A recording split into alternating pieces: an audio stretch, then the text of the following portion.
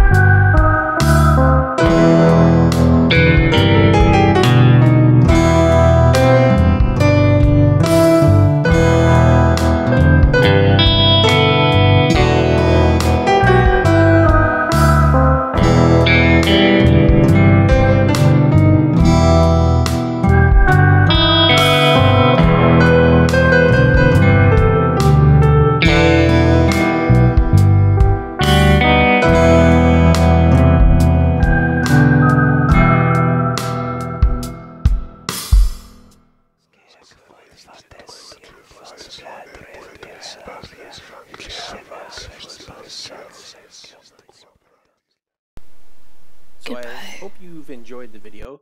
That was uh, Dracula in Dr. Seward's Library, uh, drawing by Edward Gorey uh, for his Tony Award winning design for Dracula on Broadway. Um, puzzles by Pomegranate, it's 500 pieces. Uh, if you have a chance, please drop a subscribe. Um, hoping to have a bunch more videos up in the next short while, and I'd hate for you to miss them. So thank you. Subscriptions on YouTube are free, which is not like a lot of stuff these days. So have a great day. If you're in Canada, enjoy the long weekend and take care, everybody. Thank you.